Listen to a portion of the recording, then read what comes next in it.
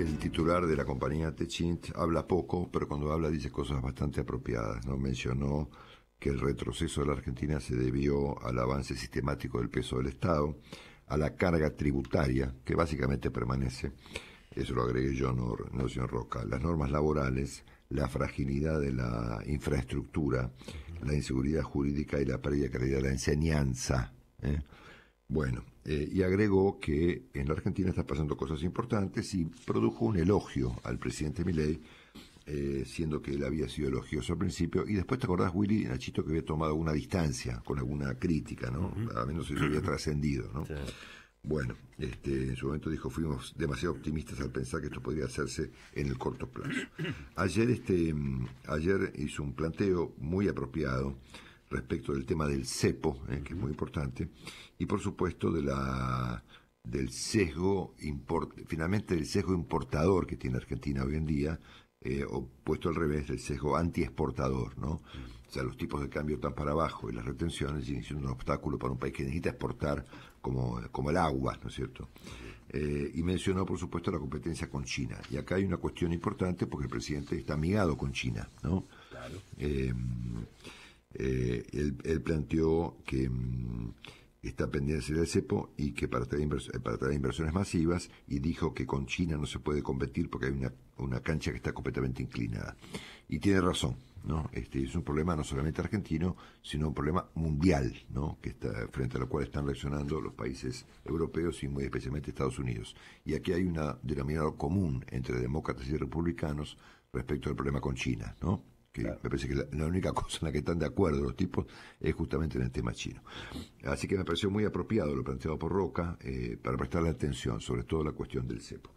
Eh, y por supuesto me detuve a leer completo este extenso trabajo publicado ayer por el portal de la Nación, se llama La Argentina ante un cada vez más visible ciclo virtuoso, que incluye observaciones muy importantes que deben ser tenidas en cuenta, firmado por este señor Ricardo Maxit, es el apellido Ricardo Maxit, exacto. Maxit, que es el CEO de un fondo que se llama Galileo. Yo no conocía ni al fondo Galileo ni al señor Maxit. Un viejo logo de bar de los mercados, Marcelo. Ricardo Maxit.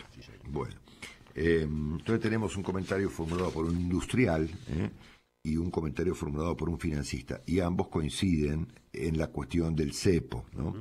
Entonces él comenta, al principio del artículo, voy a detenerme yo un segundo en la cuestión de Trump, voy a agregarle algo al artículo de, de John Maxit, dice que la semana pasada hubo un, tuvo lugar la reunión del Fondo Monetario y del Banco Mundial, donde el foco principal de las discusiones no era Milley, no, era Trump, ¿no es cierto? Eh, dice el foco central de los presidentes de, de, los presentes estuvo en las elecciones presidenciales de Estados Unidos de la semana próxima, en las que Trump parece haber recuperado el liderazgo en la intención de voto y el impacto de dichas elecciones en la relación de este país con China, se refiere a Estados Unidos, este, las derivaciones del conflicto entre Israel e Irán y la posibilidad de que el año próximo la inflación en Estados Unidos continúe elevada, dice eh, el señor este, eh, Ricardo Maxit, eh, y frene la velocidad en la baja de las tasas defraudando las expectativas del mercado. Que eso es lo que está, eso es lo que está pasando ahora, eso es lo que estamos viendo ahora. Bueno, acá yo voy a agregarle algo al artículo del señor Maxit, que es una cosa mía, no de él, ¿no? Eh, hay una enorme preocupación en Estados Unidos por los rasgos que ha mostrado Trump en las últimas semanas y las cosas que han trascendido respecto de sus posturas ideológicas y políticas, ¿no? O sea, Estados Unidos espera un dictador, o cosa por el estilo, ¿no? un tipo que está extremadamente radicalizado, mucho más que antes, y se ha vuelto además alguien muy, eh, bueno, muy, eh, qué sé yo, casi poco menos que incomprensible, ¿no? Excepto que lo miremos a la luz de la política moderna, ¿no es cierto? Ustedes fíjense que en los últimos días, hace un par de días, este acto que él protagonizó, ya vuelvo a lo del artículo del señor eh, Maxit, ¿no? Eh, allí en el Madison Square Garden, donde planteó eh, comentarios de orden racista, directamente, contra los latinos, contra los hispanos, contra los judíos y contra los puertorriqueños, ¿no?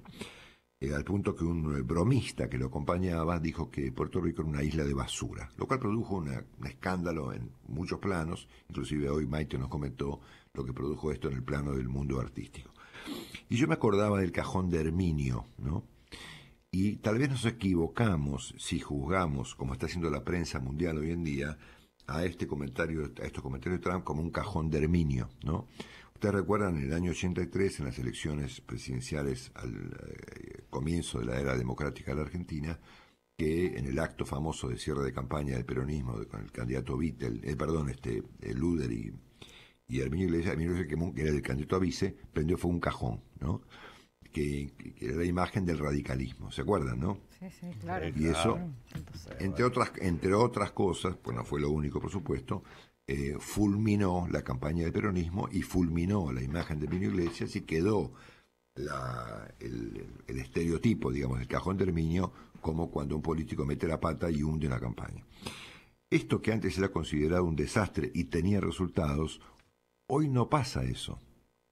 Ni en Estados Unidos ni en el mundo. Si hoy se quemara un cajón, alguien quemara un cajón con la imagen de Macri, de Cristina o de Milei, no pasaría nada. Están, están quemando cajones todos los días prácticamente.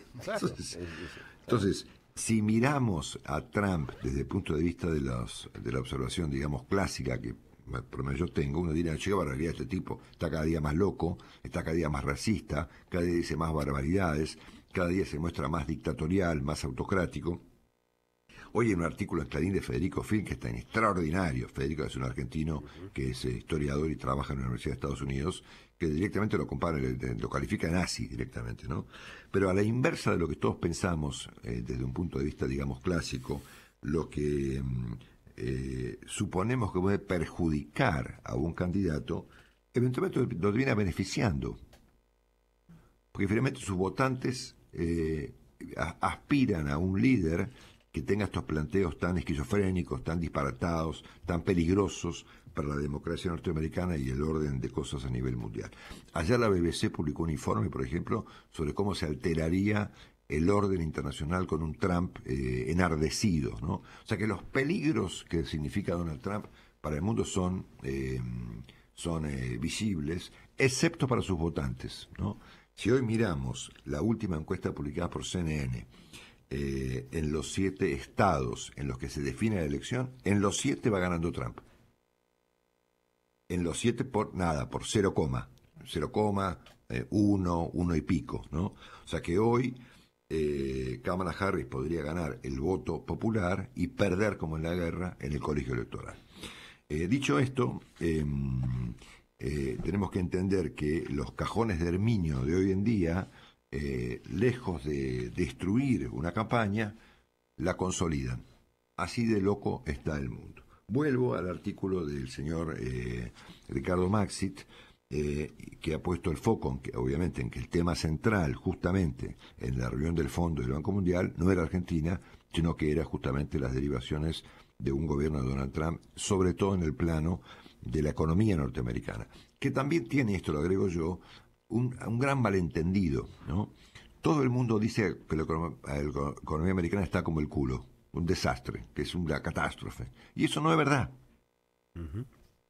Eso no es cierto. Pero es muy interesante ver cómo las eh, supuestas verdades se sobreponen a la realidad. Entonces vos difundís durante un año entero que la economía americana es un desastre y que la inflación está elevadísima y vos mirás los números y ocurre lo contrario. Pero no hay ninguna forma de convencer a la gente que está eh, creída que la inflación está subiendo de que en rigor de verdad está bajando. Es una, una batalla perdida, ¿eh? porque resulta que lo verosímil hoy en día es mucho más relevante que lo verdadero. Cuando el señor eh, Maxi se ocupa del tema argentino, dice, bueno, y la Argentina, bueno, dice, este, a ver, el otorgamiento de un premio menor de la publicación Latin Finance al ministro de Economía Luis Caputo, una presentación con inversores también del ministro organizada por Santander en el segundo subsuelo de un hotel, ¿eh?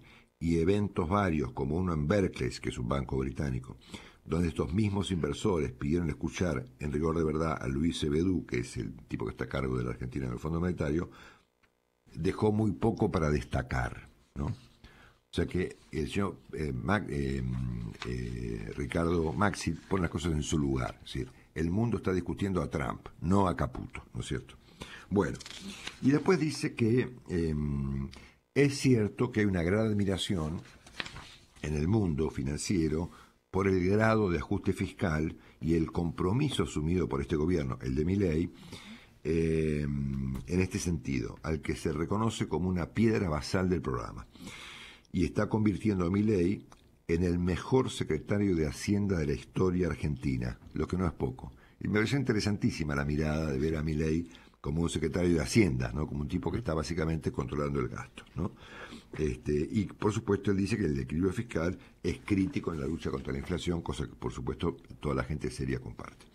Podrá o no gustar el estilo de ley con sus exabruptos y malos modos, pero se percibe que está haciendo lo que hay que hacer. Yo acá hago un pequeño comentario adicional, que es que el tema de los modos no es, como decíamos ayer, una cuestión solo de modos. Los modos, bueno, hay modos y modos. ¿no?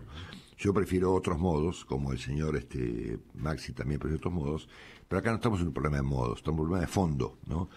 que es esta dicotomía que eh, cada vez observamos más en la Argentina de una tensión entre los valores republicanos y la economía de mercado. Bueno, si vuelvo al artículo de señor Maxi. Eh, dice, se observa con cierta perplejidad cómo Cristina Kirchner parece estar jugando para mi ley al obturar con su sempiterna presencia cualquier renovación del, Partido Justicialista. Bueno, y dice que mm, eh, la inflación, y tiene razón por supuesto aquí también, es el primer ingrediente de cualquier receta que pretenda reducir el nivel de pobreza, que hoy es muy alto, dice este, el señor Maxit. Cuando el Pepe Mujica dijo esto, le dijeron de todo, ¿no? Bueno, pero es verdad. Bueno, como contracara, luego de estos elogios que hace Ricardo Maxi, dice hay varias cosas que preocupan y acá me quiero detener. El primero, primero que preocupa ya no es Willy, eh, según este hombre, eh, los vencimientos de deuda del 2025, sino del 2026. Claro, claro, bueno. Bueno, es como que a la Argentina siempre el arco se le, corre para adelante. Y sugiere, sugiere que em, la necesidad de reestructurar la deuda ¿no es cierto?, renunciando, eh, negociando un nuevo perfil de vencimientos. ¿eh? Punto número uno. Punto número dos. Em, dice que em, eh, tampoco deja muy tranquilos a los inversores el tema del cepo cambiario. Y esto conecta, por supuesto, con lo dicho ayer por Pablo Roca. De nuevo, dice Maxi, críticas a Caputo y su gente, o bien porque no se levanta o porque siguen dilapidando dólares vía el dólar blend lo que aborta la recuperación. ¿eh? Eh, y es central cerrar un acuerdo con el Fondo Monetario eh, que permita acumular reservas y afrontar, escucha esto que es muy importante, el levantamiento del cepo con una devaluación controlada. Acá uno empieza a entender, si tomamos como válido el comentario de señor Maxit, las razones por las cuales, entre otras, no se levanta el cepo. Sí, claro que es por temor a que, el, a que el asunto se descontrole desde el punto de vista cambiario, que ocurra una devaluación. Por eso él plantea, ojo, hay que empezar una devaluación controlada, porque por supuesto subraya el, este, el problema de la, de la sobrevaloración del peso. Y, sobre todo el tsunami de deuda en pesos que tiene Argentina, que hay que ir tirándolo cada vez a más largo plazo. eso es lo que eso es lo que mm. va a evitar eventualmente una presión fuera de control. Él dice con toda razón que el gobierno tiene razón, por eso el artículo es tan equilibrado. Eh, cuando se queja del tratamiento que recibe el, que recibe el Fondo Monetario en la época de masa, que le dejaron hacer cualquier cosa, eh, y el que recibe hoy en día la Argentina. Em, subraya como positivo, por supuesto, la baja de riesgo país y el aumento de los depósitos bancarios, en dólares, por supuesto. Y hay un punto en donde me parece que em, eh, se produce una combinación de, todo lo que él plantea, cuando él al final del artículo dice que el tipo de cambio está muy apreciado y las reservas siendo muy escasas. ¿no? Y acá es donde conecta con Trump. ¿no?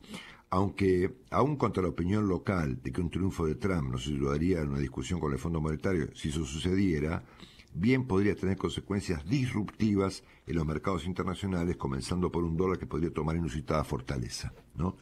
Eh, y un peso eh, nuestro, tan apreciado como el actual, bien podría ser una víctima de las circunstancias.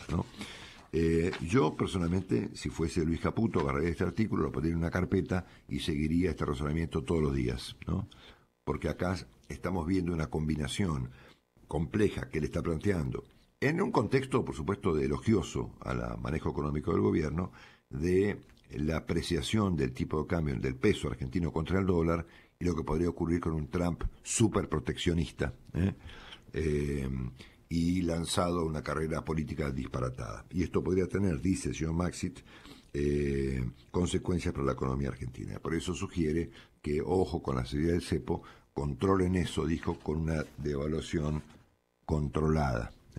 Me parece un artículo muy interesante, muy equilibrado, eh, muy... Eh, muy profesional. Profesional, digamos, este, para tener muy en cuenta, eh, de parte del señor Ricardo Maxit, publicado ayer a la tarde en el portal del diario La Nación.